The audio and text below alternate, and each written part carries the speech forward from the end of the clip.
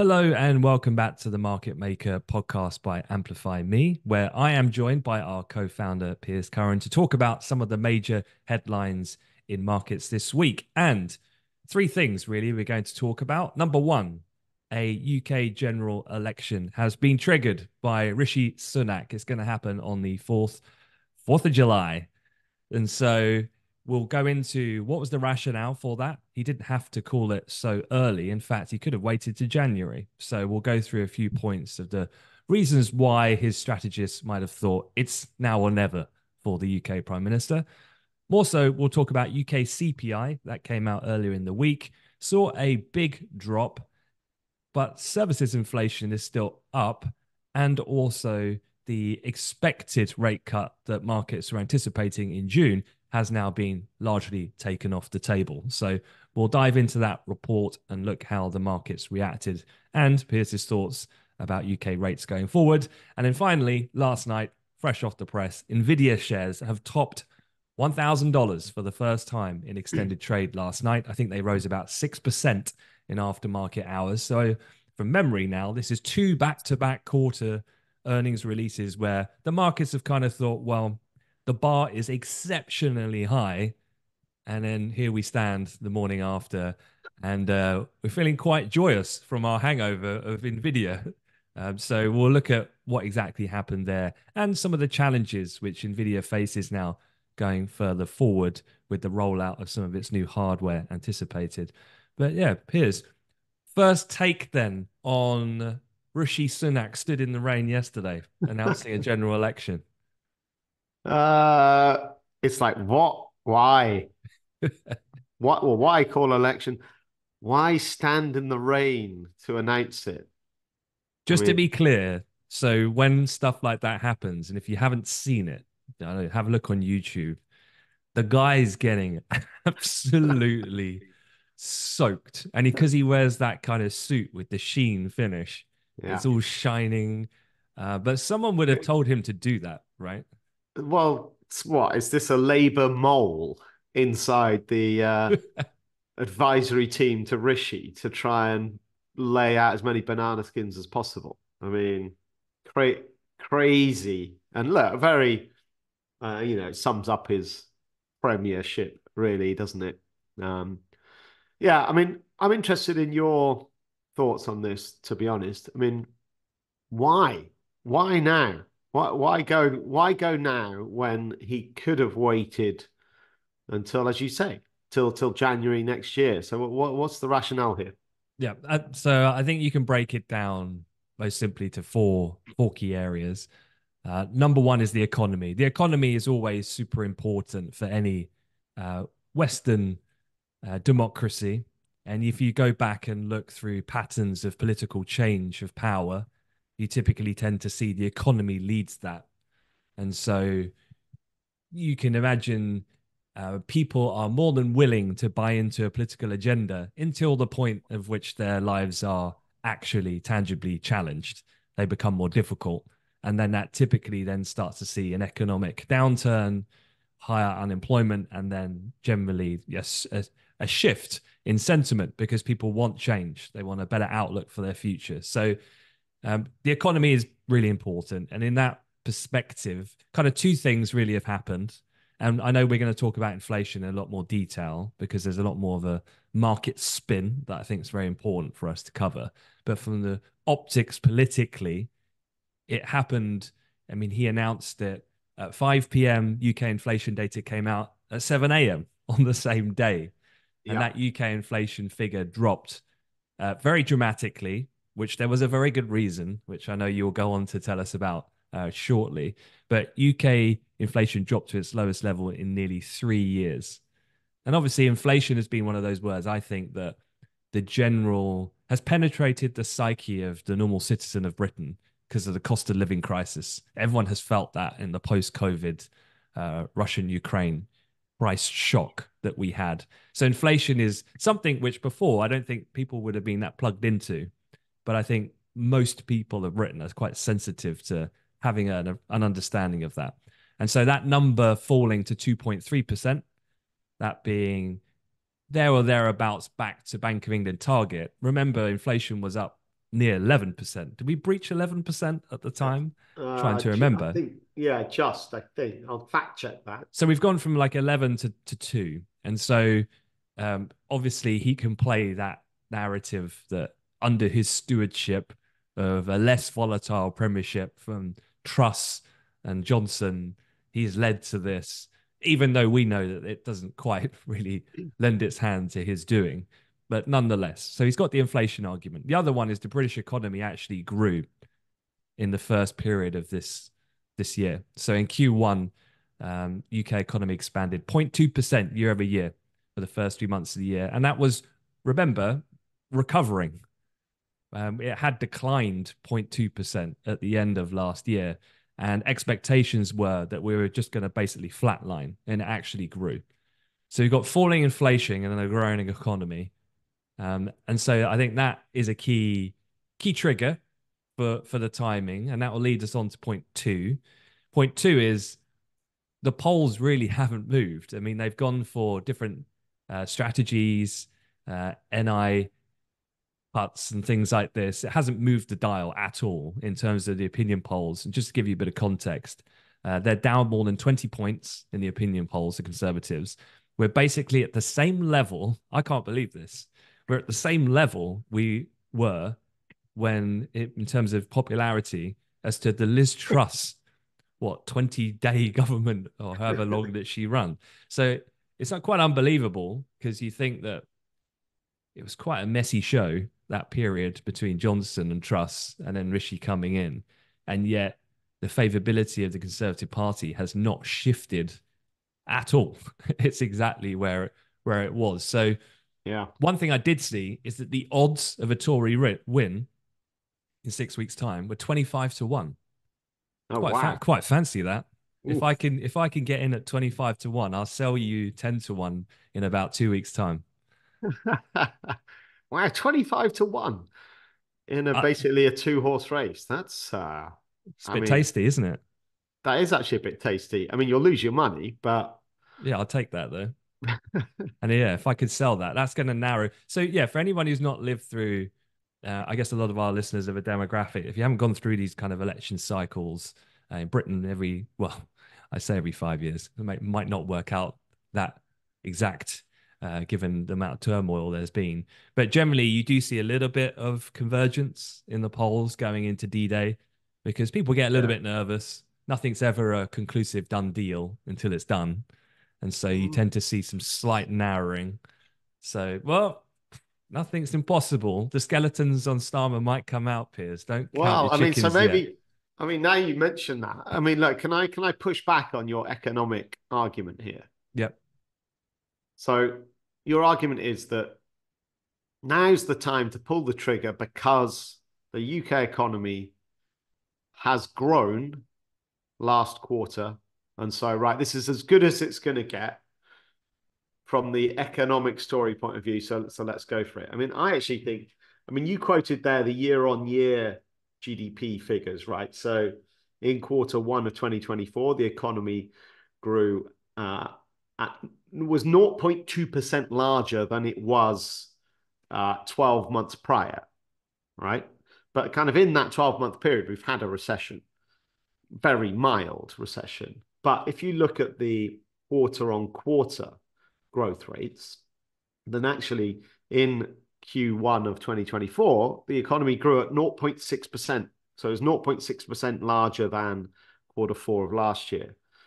The point is that's actually the large, the fastest quarterly growth rate since quarter four of 2021.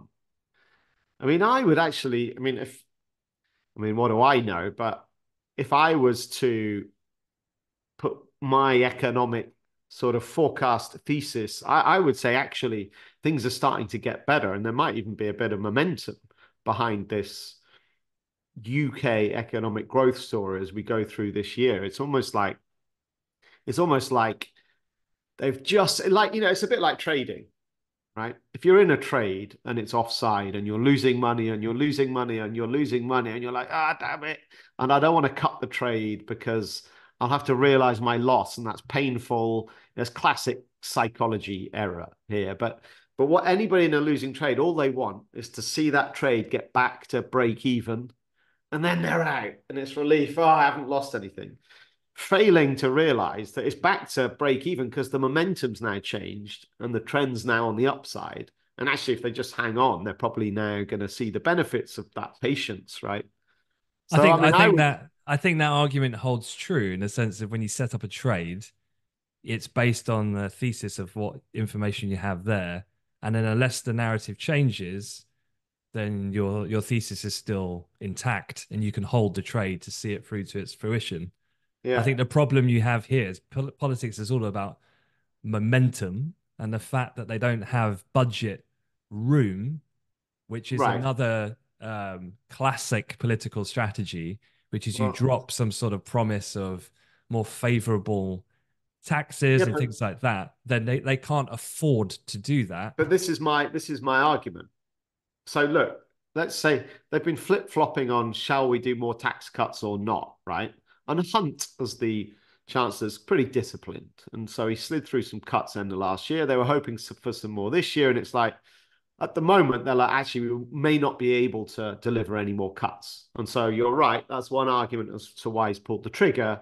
If we haven't got any giveaways this autumn there's no point waiting until the autumn because i guess their plan was tax giveaways in the autumn and then let's have an, uh, an election on the coattails of that positive news right but now that positive news isn't coming but i would argue if and I know it's a risk and it's uncertain, but if the economic momentum builds, well, maybe actually, but in six months' time, there will be some room for some tasty little tax cuts if the economy outperforms. It's like all I'm saying is going now, when at the opinion polls, they're the, the widest they've ever been, it, it's basically cementing a loss. Whereas if you wait six months, you never know. Look, I'm not saying likelihood is it'll be the same situation, but you never know, right? Could but if the better. if the economy improves, as you say, yeah. So at the moment, we can look at inflation in a second. But let's say inflation, what does that mean for then the Bank of England cut? Surely the yeah. Bank of England cut gets delayed even further. Yeah. And so therefore, you don't have that as another. Let's let's remove the economics because people generally on the street won't be looking at it from that way. They will be looking at it in the one dimensional light of interest rate cuts are good for me. Yeah. That's how they will see it. And so you're not going to get those cuts if the economy that... continues to outperform. But but look at what's happened in the US, right? I mean, this is the the most unusual economic cycle in living memory. And in the US, then what's happened there? Well, we were expecting inflation to drop and then to start cutting rates. But actually, the economy's been so strong, inflation hasn't dropped, and they haven't been able to cut rates. And actually, what's the what's the wind up of all of that? Well, actually, consumer confidence is building. You know, the economy's strong, right? I'm, I'm just saying, could, can't the economic growth story be so be positive enough for it to counterbalance that disappointment of no rate cuts. I don't know. Just saying. I'm just saying, if I was Rishi, I would not have pulled the trigger now. I just think, well, unless unless unless he's just had enough. I mean, there are arguments about, you know, the internal yeah. sort of dynamics of the party are pretty fractious, and mm. so it maybe he's just had enough and he's just, just right in, in in protest against the far right, the Conservative Party. He's like, sod you lot. Yeah, I do think that's um I do think that's a genuine piece of the puzzle because apparently reading all the news articles this morning, no one knew about this. Yeah. Even the Chancellor didn't know about this. Right. David Cameron was abroad, had to fly back that day. Like, I think that's a big part of it. It's self-preservation. And yeah. I think he has to you know, I was saying to you before, I think it's been a bit quiet in terms of attacks on the PM from internals. And so that always happens because if you think that, so let's say all goes as planned, the Conservative Party are going to lose, he needs to step aside. There needs to become a new opposition leader of the Conservative Party if it all goes to plan. Yeah. So then it's about raising your voice, creating more um, issues, which is only going to scupper further your likelihood of winning at the election. So while that's fairly settled, then go now and don't give them time because you're going to dominate the airwaves because already he's going to be on the pedestal every single day barking his tune now and there's no room for anything else. So I think there's a little bit of that yeah. for sure. Um, a couple of final points then. So um, a few things about the polls just to wrap. So there's kind of two points here, uh, of which don't look good for Rishi. So I'll, I'll play on your side for a moment. Labour hopes to gain seats from basically a, a, crisis that's going on at the SNP in Scotland. Yeah. Um, and the Conservatives across uh, England and Wales. The second is the Lib, Lib Dems. So if you've seen any of the, uh, certainly in the southeast, I think it's probably more more prominent. But the Lib Dems are a serious challenge to some of the southern heartlands, essentially. So you've got Labour grabbing some of those areas uh, in Scotland and elsewhere from the Tories. And we've seen that some of those areas in the Northeast as well flip. And then you get the Lib Dems coming in, sweeping up some of the southern heartlands, which would have been usually bankable for the Tories. And then you've got your buddy Farage piping up with the Reform Party. Uh, he could also snag a couple uh, votes from the Conservatives as well. So yeah, it, that hence the bloodbath that's expected uh, at this point. Um, but yeah, I mean that's pretty much the the summation of it, really. Um, but from a market's perspective, yeah. Well, I mean, well, firstly, let's talk about yesterday. So, if I if I'm just using like the FTSE 100 as a sort of hmm. uh, proxy to this, well, then yeah, it, it kind of reacted negatively. I mean, I, I mean, I don't know if it. It's hard to say if it's a genuine straight out reaction to uh, to Rishi Sunak. I think it's way more about the inflation data, which is what kind of really led to stocks going lower. You know, you asked me, you asked me in the in our kind of we were messaging yesterday, and you were saying, right, yeah, maybe we could talk about what what the elect what a Labour win might mean for markets. And I was like, I don't know. I mean, does it mean anything? Um, I mean, historically, you know, it, normally, like go back through the years, right? A conservative party would be pro, more pro business, right? And a Labour Party would be more anti business, just from the, you know, the the kind of conventional left versus right policies around tax and so on. But that's that's uh, that's all. They're, they're, they're basically both. Well, Starmer's taken over the middle ground, and Rishi's been forced right by the right wing, the hard right wing of the Conservative Party. So Starmer's really in the middle. He's trying to paint himself as pro business, which is just amusing from a Labour point of view. But I mean, that I don't know. Does it matter? Does anybody care? That's the um, normal discourse from going from a, a, a more left leaning Corbyn government to pull back right. more centre yeah. left, right?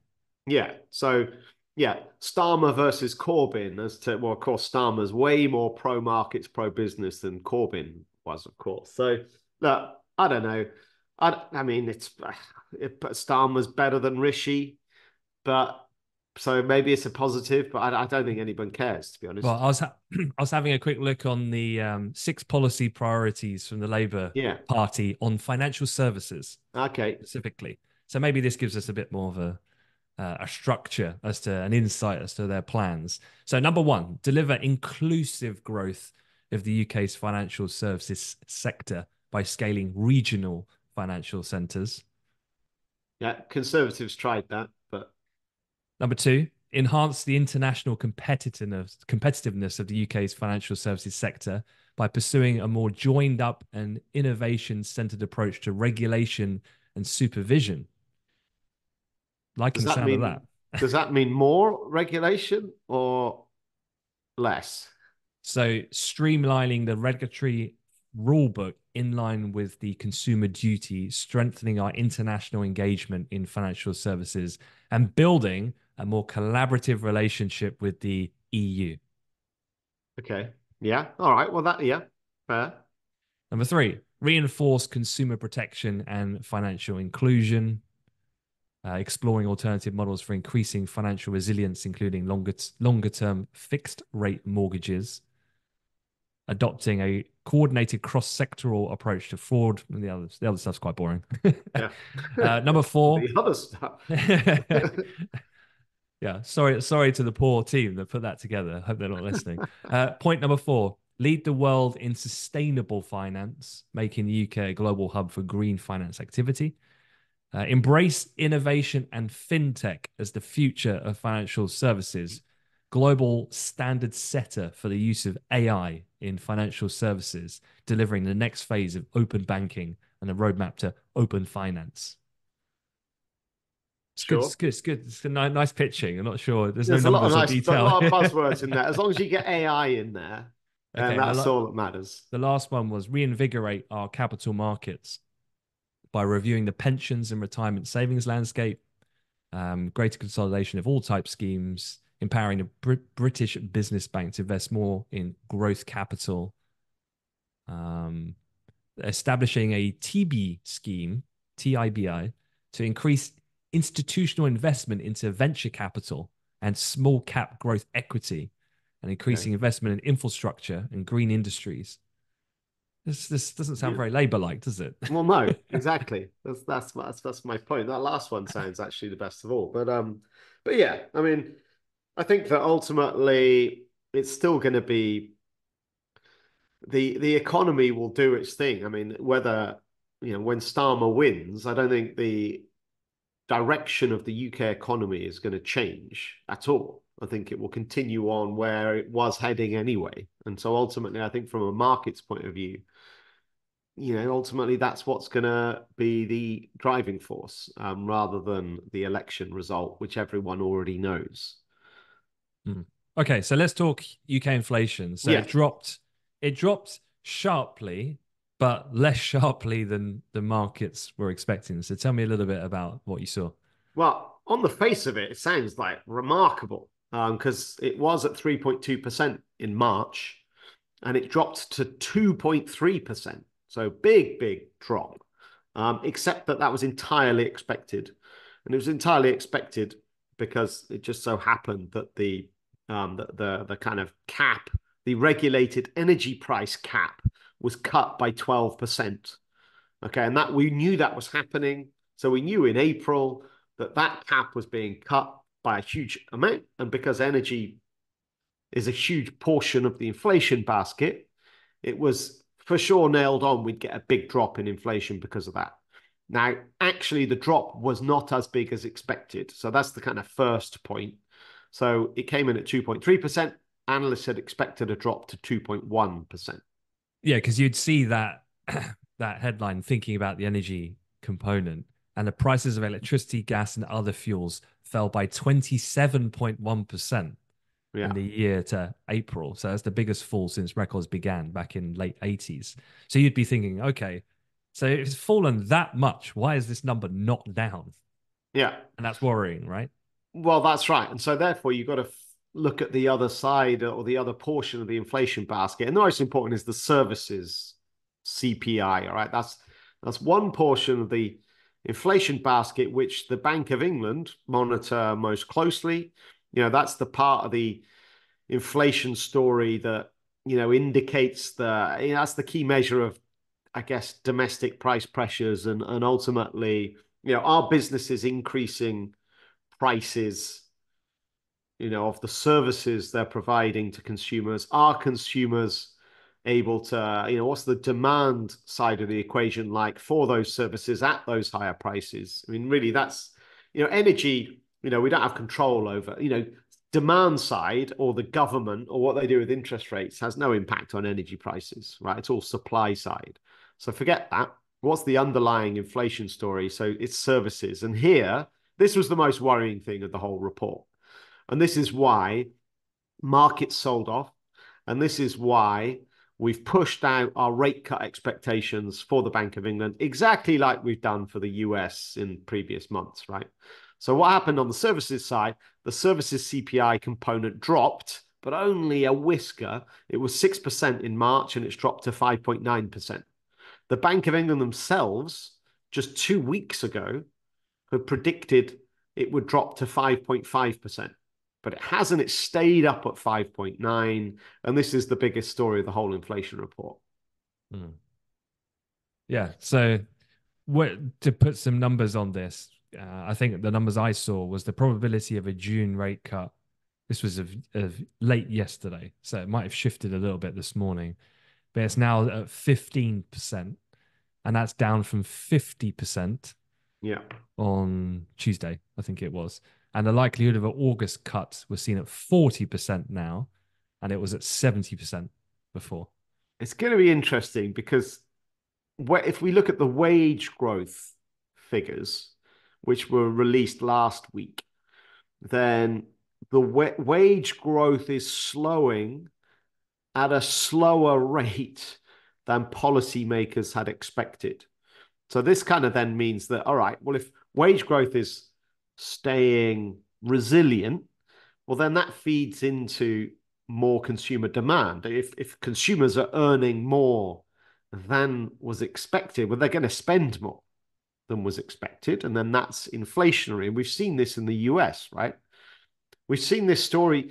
You know, why aren't people just actually looking at evidence from what's happened in the US economically and just translating it across the Atlantic? Because in the US, wage growth remains strong, the consumer remains really resilient, the growth story picked up in momentum, and it prevented inflation from dropping to target meaning the Fed's not able to cut.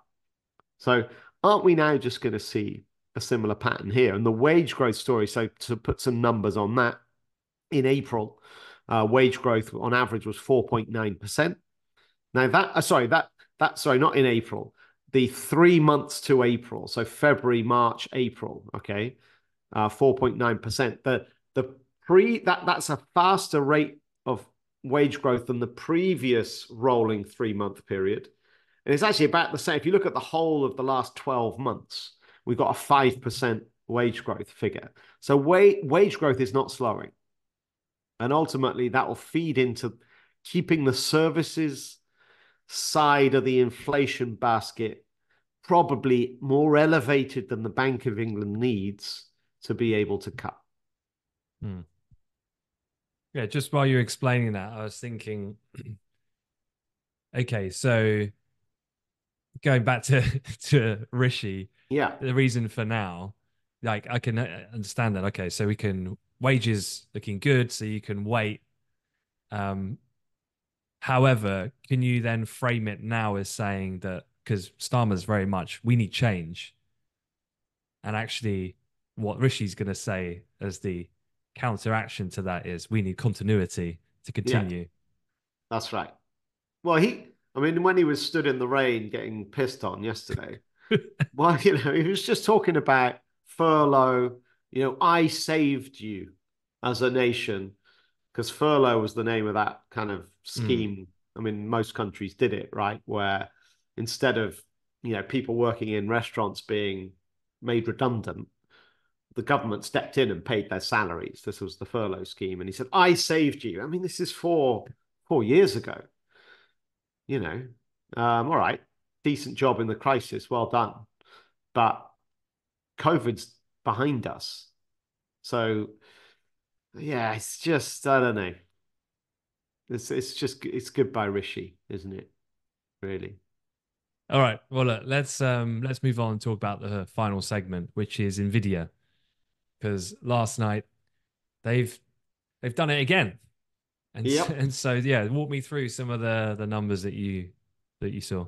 Well, they've done it again, and actually, before I talk numbers, really, a lot of analysts out there are kind of putting Nvidia and their earnings right up there as one of the absolute key, most important barometers for the whole global market story. And that is because what's driven markets in the last 12, 24 months has been the AI revolution, and NVIDIA are the poster child of that. And they're considered to be the ultimate litmus test as to whether that AI revolution is losing momentum or not. Okay. And it's straight up like US inflation data is probably the only thing above Nvidia earnings in people's kind of hierarchy as to what's important. I just tried to find it, but I remember reading a snippet in an article yesterday, and it was saying that it was a commodity trader, uh, and they were I can't remember what they were trading, like tin or tungsten or some Okay. random metal. this. Yeah. And it was like, actually, Nvidia is a really big deal, even Yeah. for us. And I think there was some guy, and he was saying that Angolan Yeah, government bonds Yeah. prices moved off the Nvidia earnings last quarter. Like it's literally doesn't matter where or what, it gets impacted by Nvidia earnings. I mean, where or what financial instrument? I mean, anyway, so look, it's really important. And the concern was that they just wouldn't be able to sustain this just absolutely extraordinary, you know, hockey stick growth story. But the good news is they have. So here are the numbers. Their revenue was up 262% in the past quarter, year on year. Um, previous quarter, it was up 265%. So basically, a ridiculous growth rate continues. Uh, their revenue was 26 billion, beating forecasts. The forecast was 24.7. Earnings per share, $5.98. That's 600% up uh, on the same period last year. Gross margin, 78.4%. Again, beating expectations of 77. Net income 14.9 billion, beating expectations of 13.2. Bearing in mind these expectation figures were just astronomically high. The bar they've got to beat is so high, and yet they just go and vault it, no problems whatsoever. Um, I think one of the big concerns had been that we this would be the first quarter we might see a slowdown in this ridiculous growth story. What what people have been talking about, so Nvidia are transitioning from Hopper, their GPUs that have just had sensational demand that's driven all of this. They're H100 chips, okay, that Facebook are buying at 40 grand a pop. Those they're transitioning now to the next gen, all right, the next generation of chip, which is called their Blackwell chip. Now, they're going for a 12 month new generation cycle. Okay. And actually, their CEO had confirmed that. He said, yep, Blackwell's coming now. They're expecting to start to ship that this quarter. But he says the next generation is going to be in 12 months' time. And then 12 months after that. And we're going in a 12 month cycle. What analysts had feared was the cycle's so rapid that actually a lot of these big huge tech firms that are buying all these chips up, they might go, well, actually, rather than buying the Hopper chip, Blackwell's coming pretty soon. You know what? I might as well just wait. And the fear was there would be what they call this air pocket of demand, where you see demand for the Hopper chip drop because people are just waiting for Blackwell. Now, what these numbers show is that definitely hasn't happened. There's no air pocket. This thing's just I think the steady through the this- roof. the speed of change in AI is so rapid. I Yeah. think that air pocket is evaporated Wow. almost immediately. And which the black suggest. Yeah, and the Blackwell chip, which comes just 12 months after the Hopper chip was delivered, Blackwell will be twice as powerful. wow. And it will have five times the performance on inference, which is basically the speed at which these AI bots can can give you an answer back, basically. And and and you know, the CEO was saying that, you know, demand demand for Hopper and Blackwell is way ahead of supply. And he's predicting for for the year ahead it, like for the quarter coming up he's predicting 28 billion revenue which is another increase on previous guidance and beating forecasts. And so look the share price is up 6% and as you said it's broken the magic $1000 level. Just to put that in context right at the end of 2023 final trading day of 2023 it closed just a whisker below $500 so it's doubled in five months. But like if you look at, you know, if you go back to, I don't know, if you go back to pre COVID. Don't do this to me, Piers. Don't, why, why, are you, trading why are you 41 doing this? forty-one dollars He's just trying to make me feel 2019. 41. Oh, it's now above a thousand. Did um, you say forty-one dollars? It was trading at pre-COVID. End of 2020, end of 2019, it was trading at 41 bucks. Okay, so you going through that list of numbers would make a lot of listeners go, "Oh my goodness, I've just missed, I've just missed out on like a Bitcoin esque type move." Yeah, and they'll be thinking, "Right, I want a piece of this now," as always is the case. What would your advice be to them? I would explain to them this thing called FOMO, which is the fear of missing out where it's like, ah, oh, damn it, I should have got in, I should have got in, I should have got in. It goes up, it goes up. Oh, I should have got in. It goes up and it goes up. You're like, oh God, I'm I'm just gonna get in. But of course, you inevitably buy the top. I mean, look, I don't think this is the top, actually, but forget about doubling in five months, which it has just done in the last five months. I can pretty much guarantee you it's not going to double in the next five months, right? And I think I think it can still go up um, for a couple of reasons we'll talk about in a sec. But the growth, the rate at which it's going up has has to start to calm down. And so yeah, most of this story is in the rearview mirror in terms of crazy return on investment. Hmm. I was just thinking if the company's obviously clearly the the market leader in their space and they're making money hand over fist. So does that make any new entrance to the market almost impossible? So it has to come from a competing existing um, competitor like an amd or so forth. Right. Well that's one of the again if you're the thesis of you know this is a bubble nvidia's too high one of the key elements of that thesis is that the competition are coming and so AMD is in talks with some of the Mag 7, who are the biggest buyers of NVIDIA chips, to come up with an alternative solution, which means basically NVIDIA have cornered the market here for now.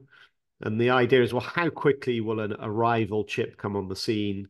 And look, you've got Amazon and Meta, they're working with AMD to come up with an alternative solution. You know, it's probably going to happen. But I guess I guess the point about NVIDIA is they're they're so far ahead. And this is why it's key about this 12 month next gen chip cycle. They're so far ahead that, and they're trying to say, we are, we will stay ahead. We've got a lead and we'll maintain our lead because we're producing the next gens. The cycle's so rapid. Um, so that's their that that's kind of their argument. They built the moat and they'll maintain it. I don't know. We'll see. I mean, look, they're from a market cap point of view, you know, they're now 2.3 trillion. They're the third biggest country uh, company on the planet. You know, it's only um, Microsoft and Apple that are bigger. They've vaulted over. They're bigger than Google. They're bigger than Alphabet. You know, they've come from no, well, not nowhere, but almost nowhere. Um, and it's a sensational story. Um, but that's in the rearview mirror, right? I think what what happens from now? Well, two interesting things came about. The first, which is the lesser interesting thing, they increase their dividend, which again is a crazy new world, right? Mm. Tech stocks paying dividends, high growth tech stocks paying dividends is just not the norm. And you know, you got the likes of Meta and Google and now Nvidia, they're all paying dividends now, which is interesting. So they increased their dividend by 150%. But the, perhaps the more interesting news, which might mean they can sustain this some of this kind of upside momentum. They did a 10 for 1 stock split.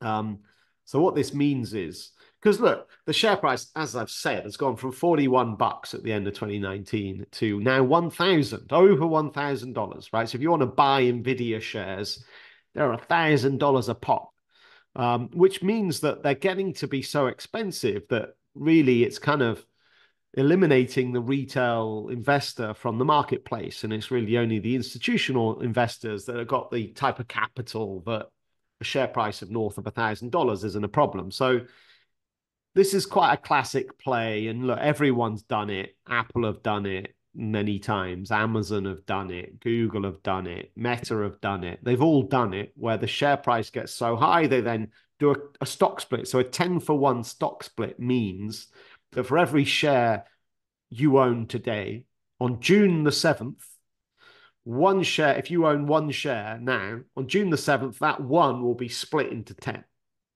Now, the price of the 10 will be one tenth of the price of the one. So the amount, the total value of your share ownership won't change. It's the total number of shares you own will increase by 10x. So the share price will be 10 times less. Okay. Now, this is to kind of A, bring in more demand from the lower end of the retail market. Okay. So now it's 100 bucks a share, right? So fine, maybe a bit more affordable.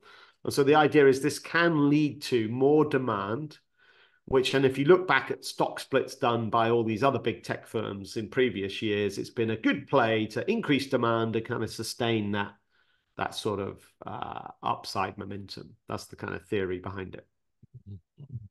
So it's it's a regular pattern of behavior. This isn't uh, it shouldn't come as a shock or a surprise. Yeah, I mean, I don't think.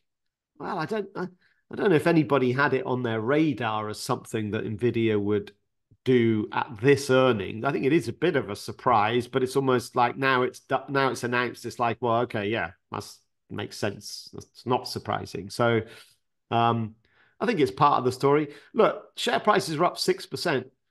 This is nowhere near as big a pop higher as we've seen from their quarterly earnings going back over the last 12 months, where we've been used to seeing. Well, if you go back 12 months, I think their share price was up, wasn't it up? Um, I think it was up 60% off one of their earnings um, when the AI thing really started to, to go and NVIDIA showed that we are right at the front of this. Um, so we're used to double digit stock price pops. So this is 6%. Don't get me wrong, great, above a $1,000, but it's mu- much more muted than we've seen uh, in previous earnings hmm. releases. Okay. Well, look, let's wrap it up there. Thanks for your your time and your insights and your debate over uh, the future of leadership in the UK. And yeah, Hope everyone has a fantastic rest of the week, weekend, and we'll see you next week. Thanks, Piers. Have a great weekend.